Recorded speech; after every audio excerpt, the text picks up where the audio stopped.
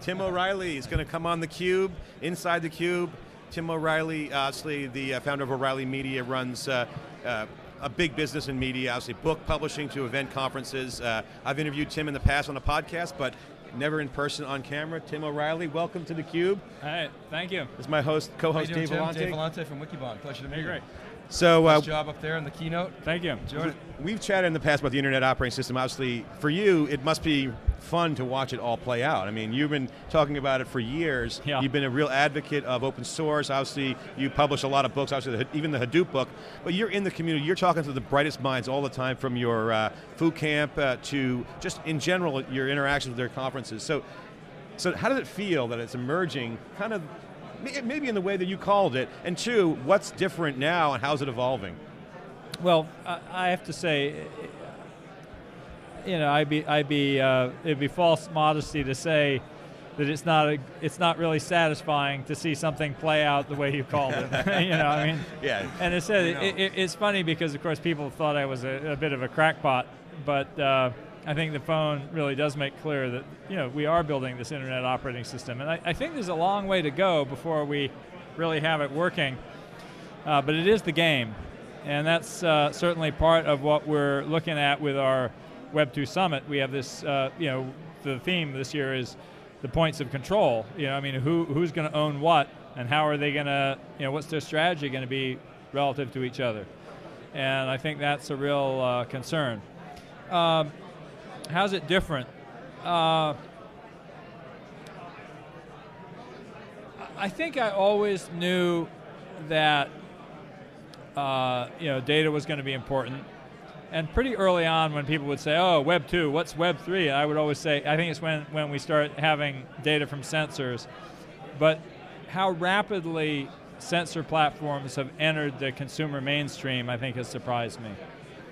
Uh, you know, when I first started talking about this, you know, it was a, a handful of geeks playing with this stuff. And, you know, you look at the iPhone or the Android phone, whatever, the, the typical smartphone today is a sensor platform. And we're seeing all kinds of other really cool, you know, uh, sensor devices. And, you know, uh, I think that's only going to accelerate. And that was one of the points I made in my keynote. You know, you, I, I see these doctors in healthcare, for example, thinking, oh my gosh, you know, we're going to have to enter all this data into a patient record. And we go, no, no, no, not really. Patient will walk in, their phone will, you know, announce itself that they're there. You know, when the, the, the nurse puts the blood pressure cuff on, it'll report to their patient record automatically. You know, there's actually going to be less record keeping, not more, because I think the devices will do more of the work.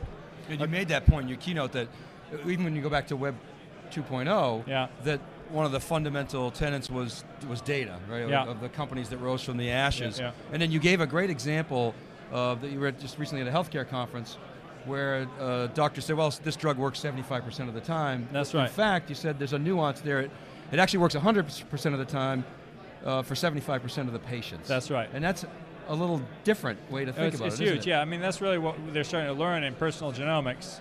Uh, you know, there are people who have a gene that, for example, some drug just doesn't get metabolized, and you go, okay, we can identify them, and so we could a reduce the costs in the system because we won't bother giving them that drug because we know it doesn't work. You know, and and uh, you know, we're just at the beginning edge of that, but there's a real case where having the data will tell us, oh no, no, you know, use this other drug. It's not as effective, but it's going to be more effective for this patient. Tim, one of the things that you've been covering and obviously advocating for the open source um, is this innovation and openness. Who controls what? You mentioned it earlier, Yeah, yeah. but you've seen firsthand disruption. Okay, and what Hadoop is representing is just another disruptive opportunity to folks like Oracle, who are extracting rents out of the market, big telco-like behavior. Um, what do you see for the data world and Hadoop in particular that's disruptive to the marketplace? I mean, there's a lot of big vendors here. We got HP, you have IBM, you got Intel, Greenplum. Um, it looks like people are kind of playing along together, but really at the end of the day, it's about disruption because Oracle is a big controlling factor and there's a lot of money at stake. So you've kind of maybe seen this movie before.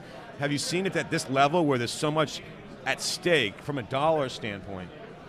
You know, here's the thing that um, you have to understand. I don't think it's, well, I mean, Hadoop is disruptive, but one of the, everything I've thought about in many ways uh, over the last, uh, you know, couple of decades has been inspired by thinking about what happened during the personal computer revolution. You know, in the early days of computing, hardware was king, and uh, IBM was more dominant than anybody is today in you know in any other area of computing. And when they introduced the personal computer, they disrupted themselves. I mean, this you know market was already booming with a lot of little players, but they, and they were playing catch up, and they, they came up with this clever idea that they would build this PC out of commodity parts, uh, and they would let anybody build them. And they didn't realize that would destroy the entire world that they dominated you know, over time. And in particular, they didn't understand that when something becomes a commodity, something else adjacent becomes valuable. And so software, which up to that time had not been very valuable, uh, became uh, the source of lock-in. And you know, IBM didn't understand this, so they made a deal with this little company, Microsoft, uh, to provide the operating system. And by the time they realized that the power was in software, it was too late. Now, fast forward to Web 2.0.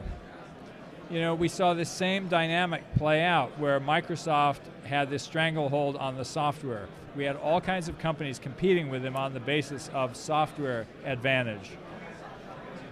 But what I saw was the open source software and the open protocols of the internet were doing to software what uh, you know, the open architecture of the PC had done to hardware, i.e. they were commoditizing the software layer.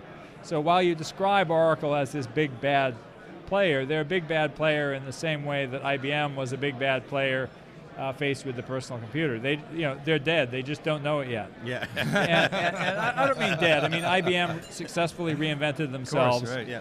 But meanwhile, you know, the torch has been passed to companies that are actually amassing not the tools of data. I mean, the tools of data are part, but actually data itself.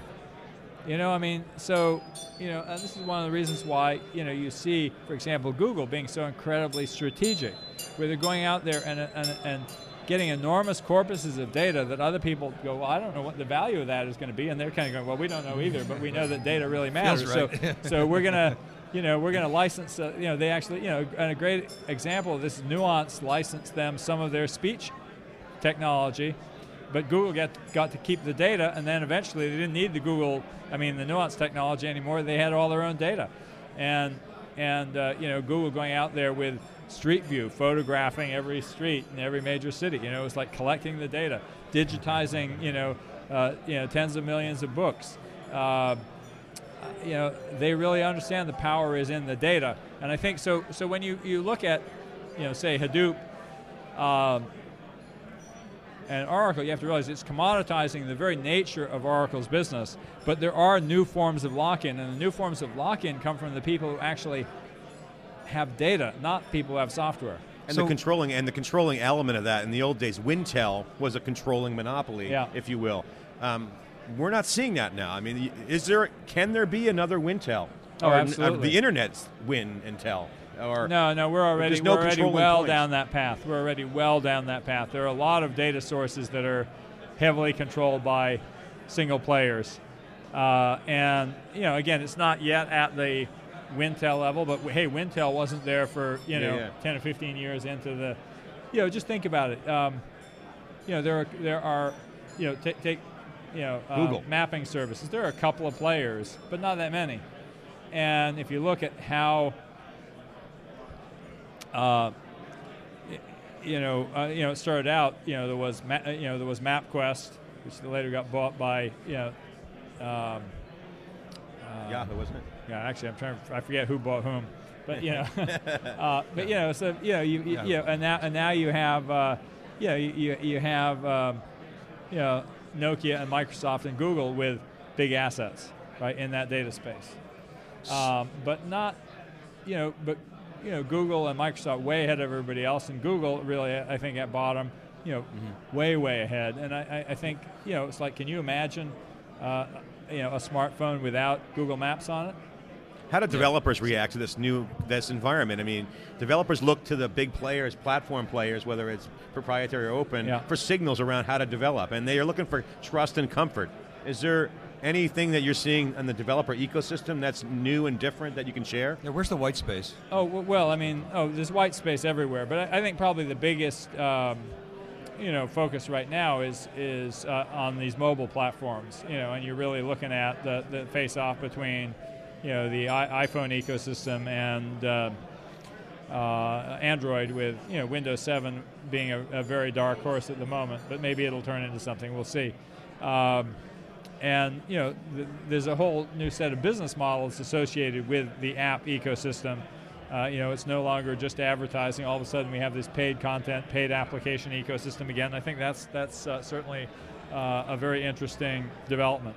Listen, I've got to wrap. I'm, I'm actually late for. A, okay, for Tim a O'Reilly inside the cube here at SiliconAngle.tv on the ground floor of Hadoop World. Second year, it's changing, growing. It's a platform that's open, and developers are jumping in. And Tim O'Reilly, thanks so much for coming inside the cube. Uh, O'Reilly Media, uh, very famous book publisher, media company, investor. Um, congratulations on all your success recently, and I look forward to seeing you soon. I know I said I have to go, but I'm going to leave you with one more point. Uh, in this app ecosystem, it's easy to forget that data is still at play. Because what is, in fact, the most important application, other than you know the the fun, the fun, the, the sort of functional commodity applications of the phone, you know, being able to call, the address book, et cetera. What is the what is the what is the killer app on the iPhone? It's the App Store. Yeah.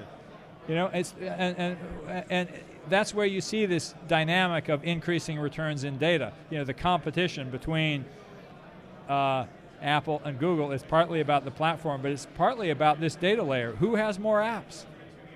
Yeah, who's got the bigger app store?